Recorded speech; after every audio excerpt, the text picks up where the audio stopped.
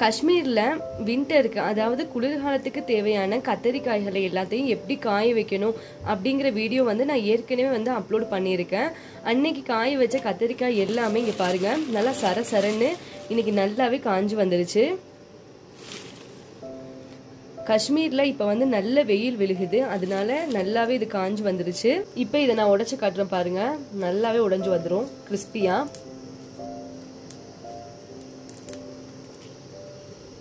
நம்ம ஊரில் நம்ம காய் வைப்போம்ல கத்திரிக்காய் வத்த அந்த கத்திரிக்காய் வத்த தாங்க இது. ஆனால் இங்கே இவங்க என்ன பண்ணுறாங்க அப்படின்னா இந்த மாதிரி கத்திரிக்காய் எல்லாத்தையுமே காய வச்சு இதை வந்து ஒரு குழம்பு மாதிரி காய்ச்சி வின்டர் காலத்தில் வந்து பயன்படுத்திக்கிறாங்க. அவ்வளோதான் உள்ள டிஃப்ரென்ஸே இப்போ இது நல்லாவே காஞ்சிருச்சு. இப்போ இந்த காஞ்ச கத்திரிக்காய் எல்லாத்தையுமே நம்ம நீட்டாக வந்து ஸ்டோர் பண்ணி வச்சிடலாம். அவ்வளோதாங்க இப்போ இந்த கத்திரிக்காய் காய வைக்கிறதுக்குள்ள மெத்தட் இன்னும் ஒன்று இப்போ இந்த கத்திரிக்காய் வந்து நல்லாவே காஞ்சிருச்சு. இதை வந்து நல்லா நம்ம நீட்டாக வந்து இந்த மாதிரி ஒரு பாக்ஸ்லேயோ இல்லை ஒரு பாலித்தீன் கவர்லேயோ ஸ்டோர் பண்ணி வச்சுக்கிட்டோம் அப்படின்னா அட்லீஸ்ட் வந்து ஒரு மூணு மாதத்துக்கு வந்து பயன்படுத்தலாம் குளிர்காலங்களில். இன்னும் ஒரு முக்கியமான குறிப்பு என்னென்னா இப்போ இதை வந்து நம்ம பாக்ஸில் வந்து ஸ்டோர் பண்ணி வைக்கிறோம். வச்சதுக்கு அப்புறமா நம்ம அப்படியே வந்து வின்டர் வரைக்கும் விட்டுறக்கூடாது.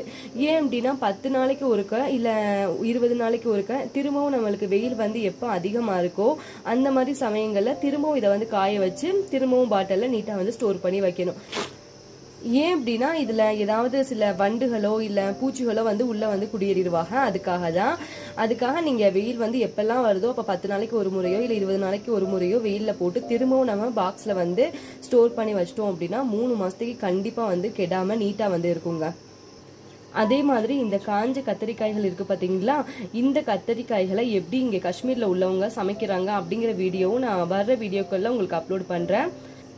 இந்த வீடியோ உங்களுக்கு பிடிச்சிருந்துச்சு அப்படின்னா லைக் பண்ணுங்கள் ஷேர் பண்ணுங்கள் மறக்காமல் நம்மளோட சேனலை சப்ஸ்கிரைப் பண்ணிடுங்க தேங்க்ஸ் ஃபார் வாட்சிங் thank you so much and take care